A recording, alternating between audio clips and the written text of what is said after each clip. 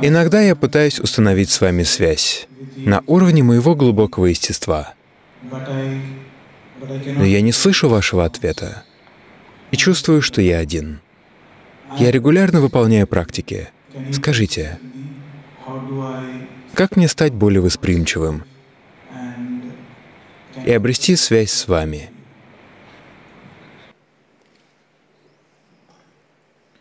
Не пытайтесь связаться на глубинном уровне. Забудьте о глубоком естестве.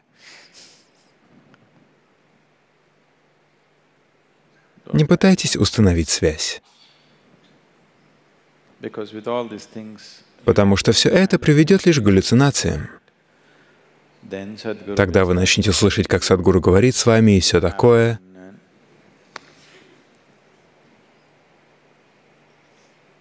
Не стоит. Что же мне тогда делать? Что мне сделать, чтобы стать восприимчивым? Что может заблокировать восприимчивость?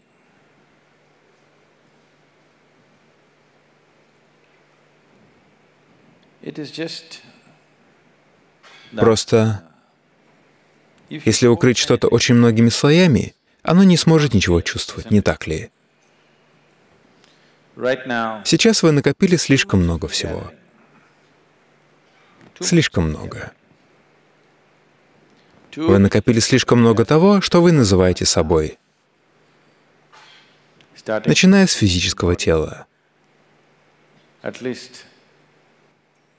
Несмотря на то, что физическое тело может расширяться, у него все-таки есть определенные ограничения. Невозможно выйти за... Можно продолжать накапливать лишь до какого-то предела.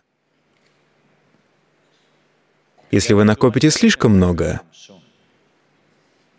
время отдавать придет очень быстро. Да, у физического тела хотя бы есть ограничения, но в уме можно создавать огромные накопления. Когда вы несете на себе такую гору, вы не сможете почувствовать ничего. Особенно если будете верить, что гора, которую вы несете, это и есть вы. Чем меньше вы на себя несете, тем более восприимчивыми вы становитесь. Чем больше, тем менее вы восприимчивы. Или другими словами, говоря прямо, вы слишком много о себе думаете. Уменьшив это, разве вы не начнете чувствовать? Конечно, начнете. И что я почувствую? Услышу ли я ваш голос? Пожалуйста, не стоит. Если вы хотите услышать мой голос, включите диск или что-нибудь еще. Если вы слышите голоса, вам нужно лечиться. Голоса здесь ни при чем.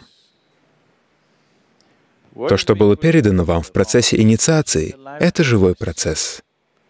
Если вы не слишком много о себе думаете, если вы просто будете сидеть здесь, он всегда будет реверберировать внутри вас. Всегда.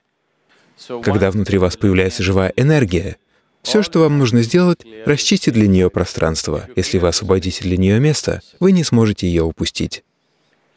Если вы хотите, чтобы к вам проникал солнечный свет, вам не нужно прилагать огромные усилия. Нужно лишь открыть окно, не так ли? Просто посмотрите на себя. Возможно, вы очень умны, или, может, очень сильны, или очень привлекательны, или что-то еще. Пожалуйста, сократите это. И вы увидите, вы начнете чувствовать. Да? Или вы очень хороший человек. Пожалуйста, сократите это. Хорошие люди ничего не чувствуют. Они становятся похожими на баранов, думающих, «Я хороший, я хороший». За счет чего? Он плохой, она плохая, он плохой, он плохой, она плохая. По сравнению со всеми этими людьми, я такой хороший человек. Вы слишком много о себе думаете. Люди, считающие себя хорошими, слишком много о себе думают. Разве не так? Сократите это. Просто осознайте свое место во Вселенной. Вы всего лишь пылинка. Если завтра утром, бум, и вас не станет, я не имею в виду взрыв бомбы, простите. Предположим, вы исчезнете завтра утром. Все в мире будет идти своим чередом, все будет прекрасно. Вы знали, что... Возьмем бриллианты. Вы знали, что ультрафиолетовые лучи, ультрафиолетовые лучи могут превратить бриллиант в пар? Вы знали об этом? Бриллианты — это навсегда. Вы, наверное, слышали такую фразу. Бриллианты не вечные. Стоит лишь лучам света попасть на него, и он начнет испаряться. Проверьте, они все еще на месте? Или исчезли?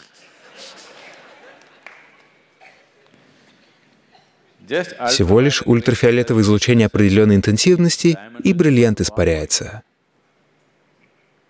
Вот и все. Не имеет большого значения, кто вы. С нужным уровнем осознанности вы можете просто испариться. Для этого не требуется огромные усилия. Не нужно прилагать огромные усилия. Вам приходится прилагать большие усилия, потому что вы пользуетесь ломом. Если пытаться разбить бриллиант молотком, потребуется много усилий.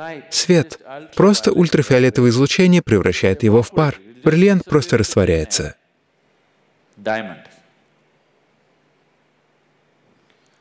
Так что это очень просто. Нужно только привнести осознанность. Сделайте вот что. Когда вы просыпаетесь утром, что вы делаете первым делом? Что вы делаете? Что вы делаете? Что вы делаете с утра первым делом? Так, телефон. Что там, сообщение?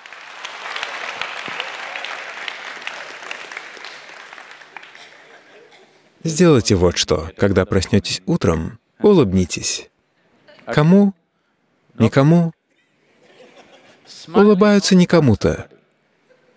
Мы улыбаемся, когда мы чувствуем себя определенным образом, не так ли? Да или нет? Если только вы не специалист по связям с общественностью, тогда вы умеете. Иначе вы улыбаетесь, когда что-то происходит внутри вас, а не потому, что вы увидели кого-то перед собой. Поэтому утром первым делом улыбнитесь. На это уйдет всего 20 секунд. Хорошо? Если вы не можете улыбнуться кому-то рядом, просто улыбнитесь. Приятное начало дня, не так ли? И если один раз в день для вас недостаточно, если вы тяжелый случай,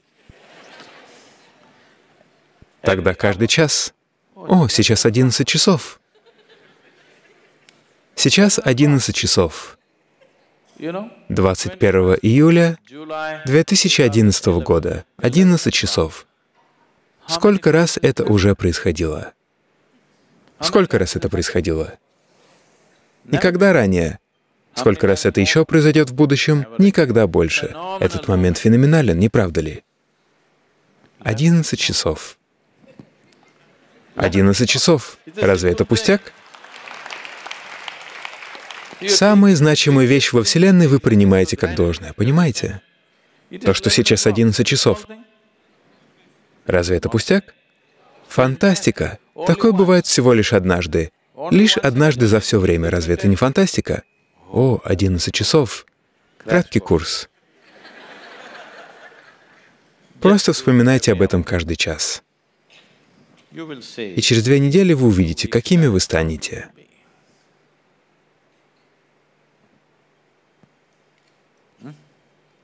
Можете найти 20 секунд для краткого курса восприимчивости, да или нет? Просто сделайте это, и вы обретете восприимчивость.